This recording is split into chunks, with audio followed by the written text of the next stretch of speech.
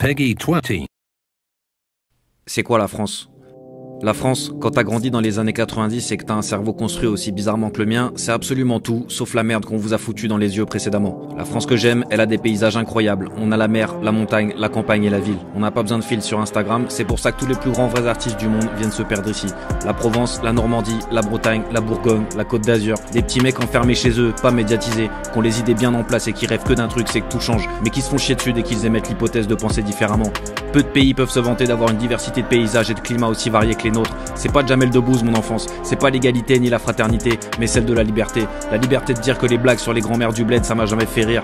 La liberté de dire qu'à l'école les profs gauchistes nous pissent dans le cerveau jusqu'à nos 18 ans et que c'est très dur de s'en remettre quand tu te prends la réalité en pleine gueule. La fraternité, laissez-moi gollerie, ils subissent tous des pressions, non c'est pas des conneries. Des boomers à la con qui ont foutu le pays à feu et à sang, retraite à 60 ans pour eux, maison secondaire et syndicalisée, prennent nous remettre une couche à chaque élection jusqu'à ce qu'ils soient enterrés dans le sapin. Ils ont toujours pas compris qu'il fallait pas filmer leurs oreilles quand on les FaceTime, mais ça veut t'apprendre comment tu dois te dans la vie. L'essence qui augmente tous les jours, 15 centimes de remise et c'est parti, on peut continuer la fellation à tous les connards qui ont quatre chauffeurs en simultané qui les attendent après leur discours d'énuque écrit par des sociétés externes. À qui profite tout ça? Personne nous le dira. La République, c'est un truc que j'arrive pas à définir puisque je me suis jamais senti concerné. Elle était où quand j'avais les bras et les jambes attachés en HP et que personne venait me détacher quand j'avais envie de chier ou de pisser? Elle était où quand je me suis fait torturer pendant deux semaines et que mon courrier était tellement bien filtré que ma daronne pensait que j'étais au Club Med? Je rêve pas d'un monde où tout le monde se tient la main. Les utopies, j'y crois plus. Chacun pour soi. La politique, ça devient comme la religion. Plus c'est intime, plus c'est intense. Pour ça que j'ai du mal à en parler ici, mais vous semblez suffisamment éveillé pour savoir pour qui voter. Ma France, c'est la famille pirate, les Arnold, les Rocket Power, la CB quand mon daron faisait des blagues aux camionneurs et qu'on se tapait des barres alors que je mangeais encore mon caca, les chasubles en sport qui puent la transpi,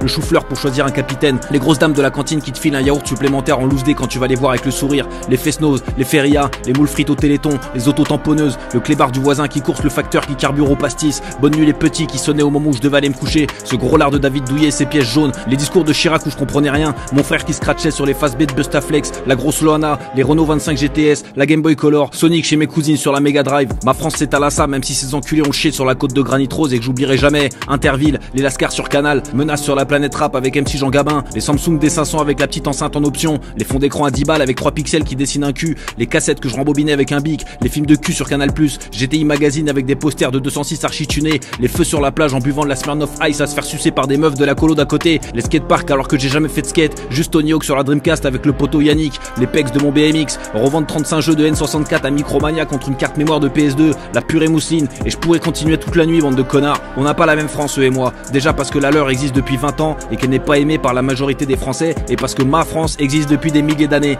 Ma France, c'est aussi dire pain au chocolat tout en écoutant du Brassens ou en lisant du Baudelaire, citer des répliques de films cultes comme Le Professionnel, Le Magnifique, Taxi 1 ou Mission Cléopâtre. C'est avoir les larmes aux yeux en écoutant la Marseillaise un jour de match ou en un peu plus sur Napoléon chaque 2 décembre. C'est aller aux fêtes votives en Camargue ou dans le Pays Basque, me balader sur les remparts de Saint-Malo, courir sur la dune du Pilate, pisser dans la neige dans les Pyrénées ou encore admirer le coucher de soleil dans les Calanques, chier dans le port de Paimpol. Putain, ma France mérite que je mette son drapeau à mes fenêtres comme aux États-Unis, sans être traité de facho, que je sois fier de parler de sa culture et de ses valeurs pour lesquelles elle s'est battue depuis des siècles, au lieu de lui cracher au visage qu'elle n'en a aucune, que Joe Star continue à jouer le LGBT dans ses films et à se faire blanchir les dents au lieu d'essayer de se la jouer Martin Luther King des woke, pauvre tâche, que Ramsey continue de nous chier des flops à la fond du maghrébine, que même les arabes de chez nous peuvent plus blairer, vous cataloguez, ils sont coupables à chaque fois, mis à l'écart et montrés du doigt, la France c'est nous, c'est plus vous.